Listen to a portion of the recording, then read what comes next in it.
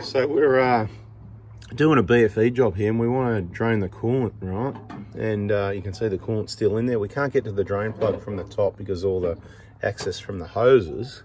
But the bloody bananas strike again. We need to get into that drain plug. You can see it in there, yeah? But see the banana, how it blocks the access. Normally this is where you put your hand in to reach in.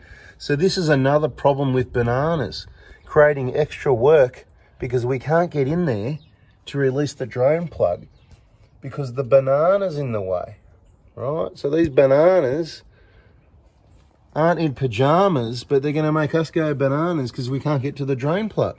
But we'll get to it. But, you know, the bananas are costing you money, creating extra work. So be careful before you invest in bananas that aren't in pajamas. So what are we going to do? You know, we can start pulling all this stuff apart and pull extra hoses off and that to get to it, or we can remove the bananas. What do you reckon, mate? Do you reckon we can work out a way? We're going to struggle and get down there on the ground anyway. We'll work it out. So I just wanted to let you know, you know, we don't like bananas that aren't in pajamas. And uh, yeah, anyway, bada bing.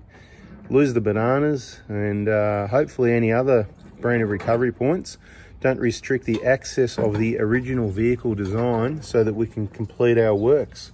Thank you.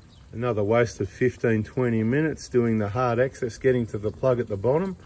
Uh, it's out now, but you know, for more real information and things you might want to avoid wasting money, like uh, catch cans and bananas, subscribe, turn the bell on, because we're not here to sell you anything you don't need, and we'll actually show you the reasons why you don't need these things and some of the problems they can cause aftermarket items.